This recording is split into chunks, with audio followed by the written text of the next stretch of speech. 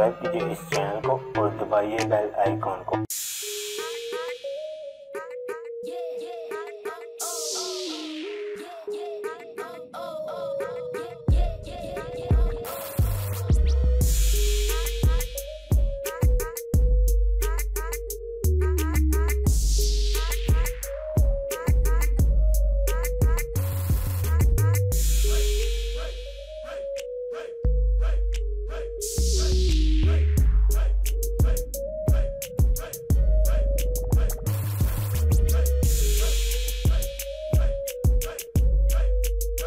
Subscribe कीजिए इस channel को और दबाइए बेल आइकॉन को।